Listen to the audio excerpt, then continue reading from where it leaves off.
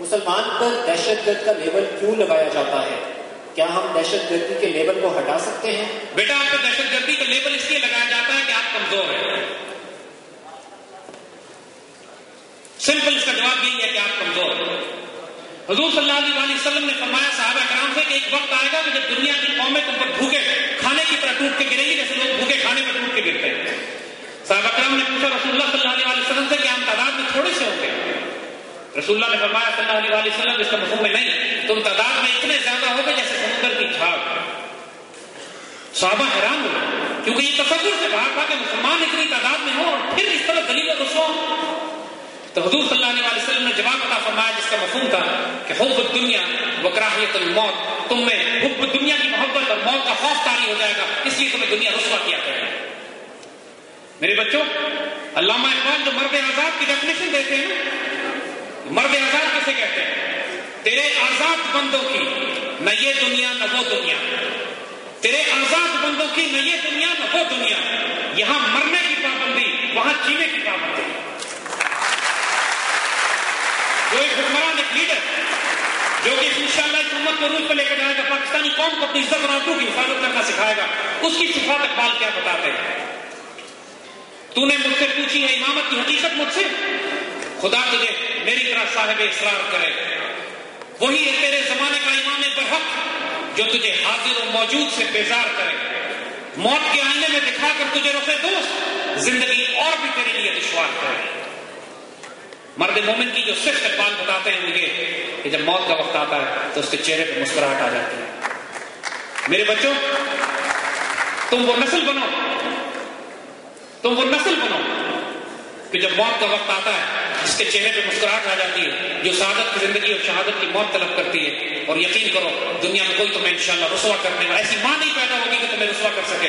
ایسا کوئی باپ پیدا نہیں ہوگا جو ایسے اولاد کو جنم دے سکے، جو مسلمانوں پر انگلی اٹھا سکے یا ہماری کسی بہن کی بے حرمتی کر سکے۔ اگر کوئی کمزوری امت میں ہے، تو میری اور آپ کی وجہ سے، ہماری وجہ سے۔ ہم ایک امت ہے ایک ملت ہے ایک دوسرے پہ انگلی اچھالنے کی، کیچڑ اچھالنے کی ضرورت نہیں ہے۔ اپنے آپ کو درست کرو۔ دشمن ہمیں چاروں طرف سے گھیر چکا ہے اس وقت۔ علامہ اقبال کے الفاظ میں پھر تم سے بات کرتے میرے بچوں۔ دیگر دانا راز آیت کے نہ آئے فقیر باز آیت کے نہ آئے۔ دوبارہ یہ راز جاننے والا شاید تمہارے پاس آئے یا نہ آئے۔ یہ راز جاننے والا تمہارے پاس پہنچے یا نہ پہنچے۔ لیکن مہمان حرم باز با تعمیر جہان خیز۔ اے وہ جس نے حرم کی تعمیر کی تھی، اٹھو میں زمانے کی تعمیر کرو۔ از خواب گرا خواب گرا خواب گرا خیز۔ گہری نیند سے اٹھو، گہری نیند سے اٹھو، گہری نیند سے اٹھو۔ علامہ اقبال کے اس شعر کو پڑھتے ہوئے 1992 میں تاجکستان میں انقلاب برپا ہو گیا انشاءاللہ العزیز اکیسویں صدی کے آغاز میں اب علامہ اقبال پاکستان میں انقلاب برپا کریں گے انشاءاللہ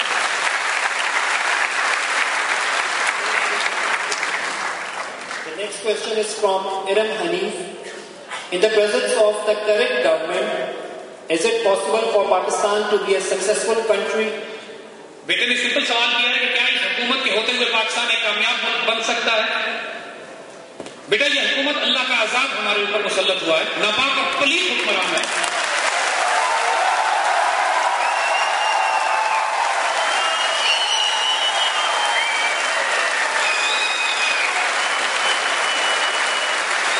اور حضور صلی اللہ علیہ وسلم کی حضور صلی اللہ علیہ وآلہ وسلم کی اس حدیث مبارکہ کی تصدیق ہے جس میں آپ نے فرمایا تھا، اعمالکم امالکم تمہارے اعمال تمہارے حکمران بن جائیں گے۔ ہمیں بحثیت قوم اجتماعی توبہ کرنے کی ضرورت ہے۔ یہ تکمیل کی مہم شروع اس لیے کی گئی ہے کہ ہم پہلے اپنی قوم کو بحثیت قوم ہم توبہ کریں کہ یا اللہ جو وعدے ہم نے آپ سے کیے تھے مستغفار اور توبہ کرتے۔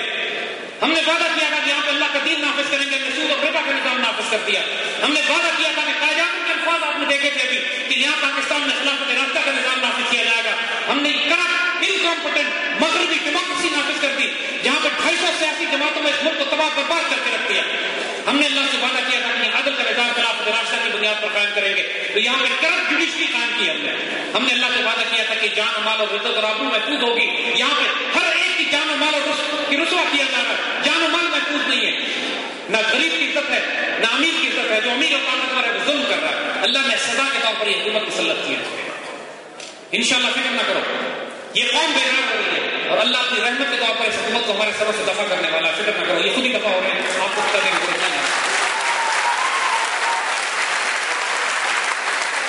اگلا سوال قبر ضیاء کی جانب سے ہے پاکستان جو دہشت گردی کی جنگ میں شامل ہے۔ اس پر روشنی ڈالنا کہ کیا یہ ہمارے حق میں ہے یا نہیں۔ بیٹا دیکھو جو غلطیاں مشرف دور کے بعد کی گئی ہیں مشرف کا دور مختلف ہے اور مشرف کے بعد آنے والا دور جہاں تک فوجی حکومت عملی کا تعلق ہے بالکل مختلف ہے۔ مشرف دور میں سیاسی حکومت اور فوجی حکومت ایک ہی شخص کے پاس تھی، جو پالیسیاں بنائی گئی انہوں نے پاکستان کا بیڑا گرک کرا کے رکھ دیا مشرف کے جانے کے بعد سیاسی حکومت جو آئی تو آئی، وہ آپ کے سامنے ہے۔ لیکن فوج نے اپنی پالیسی بالکل تبدیل کی۔ اور اس سے پہلے جو پاکستان امریکہ کا ہر جو وہ چاہتے تھے دندناتے پھرتے تھے اس پاکستان میں امریکن اب اللہ کے فضل سے ہر محاذ پہ، ہر جگہ پہ امریکن کے ساتھ رجسٹ کیا جا رہا ہے۔ پاکستان ایک فیصلہ کر چکا ہے پاکستان کے سیکورٹی اسٹیبلشمنٹ کے ہم افغان طالبان کے ساتھ تعلقات درست کریں گے۔ گلبدین حکمتیار جلال الدین افغانی ملا عمر ہم دہشت گرد تصور نہیں کرتے۔ پاکستان کی تحریک طالبان، پاکستان ہماری دہشت گرد تنظیم ہے جو افغانستان سے سپورٹ کر کے پاکستان میں بھیجی جا رہی ہے پاکستان جس جنگ میں اس وقت شامل ہے وہ تحریک طالبان پاکستان اور سواب کے دہشت گردوں کے خلاف ہے۔ افغانستان کے مجاہدین جو امریکن آکوپیشن کے خلاف لڑ رہے ہیں نہ پاکستانی قوم نے دہشت گرد تصور کرتی ہے، نہ پاکستانی فوج نے دہشت گرد تصور کرتی ہے۔ افغانستان میں امریکن کا بری طرح پھنس چکے ہیں۔ اب امریکن پاکستان کے پاس آ رہے ہیں کہ ہماری افغان طالبان سے دوستی کرا دیجیے۔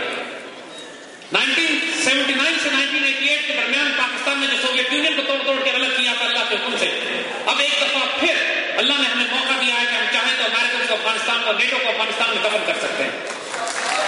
پاکستان کی حکومت کو مضبوط فیصلے کرنے کی ضرورت ہے۔ بہت سے فیصلے سیاسی ہوتے ہیں ڈپلومیٹک ہوتے ہیں، وہ فوج نہیں کر سکتی۔ پاکستان کی فورن پالیسی کیا بنے گی؟ انویسٹر میں کیا بات کرنی ہے؟ فورن ڈپلومسی میں کیا بات کرنی ہے؟ یونائٹڈ نیشن میں کیا بات کرنی ہے؟ یہ سارے فیصلے حکومت وقت کرنے ہوتے ہیں، فوج نہیں کر سکتی۔ بہت سی جگہوں پہ فوج اپنی مرضی کرتی ہے۔ مثال کے طور پر پشاور کے پاس بیٹھے بٹھائے نیٹو کے چار سو ٹرک جل گئے پتہ نہیں کس نے جلایا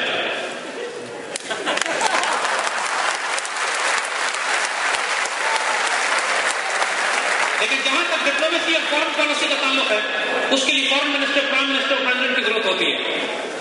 اس لیے اب پاکستانی قوم کو پیٹریوٹس کو، پاکستان سے پیار کرنے والے نوجوانوں کو وہ تحریک پیش کرنی ہے اس وقت پاکستان کے نوجوان، اس وقت پاکستان بننے سے پہلے نوجوانوں نے برٹش امپائر کو اور ہندو کانگریس کو پرامن کو اڑا کے رکھ دیا تھا۔ تو یار، یہ تو ہمارے اپنے پاکستان میں فساد نہیں کرنا۔ کوئی آگ نہیں لگانی، کوئی ٹائر نہیں چلانا ایک شیشہ نہیں توڑنا۔ یہ ہمارا ملک ہے۔ اپنا غصہ اس ملک کی چار دیواری کو نہیں نکالنا۔ لیکن ایک مارن پریشر تو اس وقت پوری دنیا میں پاکستان کے دفاع کے لیے جو بچے کام کر رہے ہیں، جو آئیڈیالوجی کو ریوائز کر رہے ہیں، جنہوں نے یہ پروگرام ارینج کیا ہے، وہ آپ کے اندر سے بچے ہیں۔ ہم آپ کو صرف مثال دیتے ہیں لٹرلی پاکستان کی فورن پالیسی آپ جیسے بچے چلا رہے ہیں۔ پوری دنیا میں جو پاکستان کے خلاف پروپیگنڈا کیا گیا تھا کہ پاکستان ٹوٹنے والا ہے ٹکن الگ ہو رہا ہے تباہ برباد ہو رہا ہے، سب ختم ہو گیا۔ بلکہ اللہ کے فضل سے اب انڈیا کو فکر پڑ گئی ہے۔ ہمارے بچوں نے، ہمارے چند بچوں نے کچھ نقشے بنائے نقشے بنا کے نیٹ پہ ڈال دیے اب بچوں بھی بنائے بالکل جو ایک اکیڈمک ایکسرسائز پر ہم نے اپنے تھنک ٹینک میں کیا۔